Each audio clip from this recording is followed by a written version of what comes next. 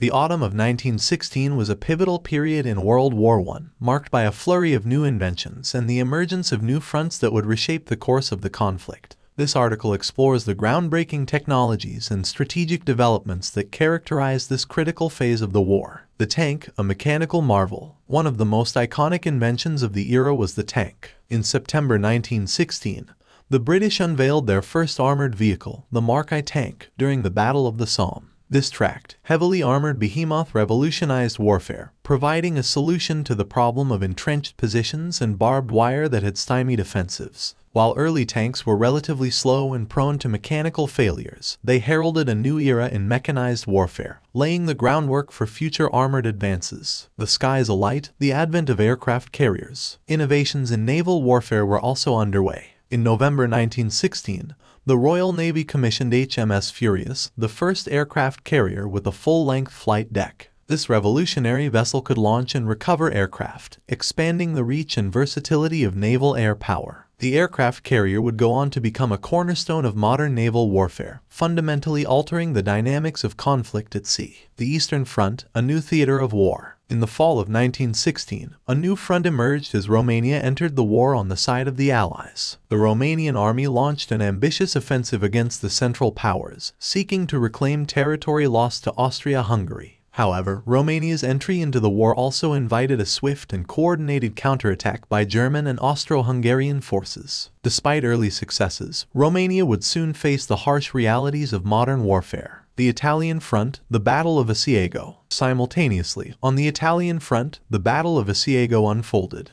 In May 1916, Austro-Hungarian and German forces launched a major offensive against Italy. The rugged terrain and well-entrenched defenders made progress slow and costly. However, by June 1916, the Central Powers had achieved significant gains, underscoring the challenges faced by Italy in this unforgiving theater of war. The innovations and new fronts of the fall of 1916 were pivotal in World War I. The introduction of tanks and aircraft carriers represented leaps forward in military technology, while the Eastern and Italian fronts expanded the scope of the conflict. These developments would continue to influence warfare in the years to come, leaving an indelible mark on the evolution of military strategy and technology. As the war entered its third year, these advancements underscored the ever-evolving nature of modern conflict. The lessons learned and the technologies developed during this period would shape the strategies and tactics of future conflicts, leaving an enduring legacy on the art of warfare.